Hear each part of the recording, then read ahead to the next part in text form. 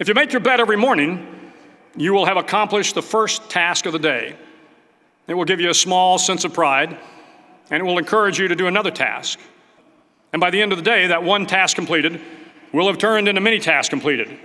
Making your bed will also reinforce the fact that the little things in life matter. If you can't do the little things right, you'll never be able to do the big things right. And if by chance you have a miserable day, you will come home to a bed that is made. And a made bed gives you encouragement that tomorrow will be better. To pass SEAL training, there are a series of long swims that must be completed. That if a shark begins to circle your position, stand your ground. Do not swim away. Do not act afraid. And if the shark, hungry for a midnight snack, darts towards you, then summons up all your strength and punch him in the snout, and he will turn and swim away. So if you want to change the world, don't back down from the sharks.